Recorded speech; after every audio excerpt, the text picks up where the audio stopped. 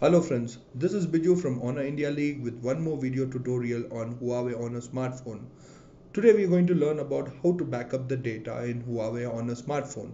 Now with 5.0 version of EMUI, you just have to find a folder called as tools or you can just find an option called as backup which is there in the menu and click on it.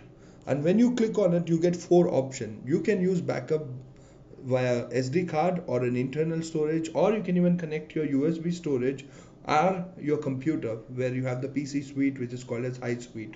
You just have to connect it and automatically uh, you your application opens up and once it opens up you can just backup on the screen.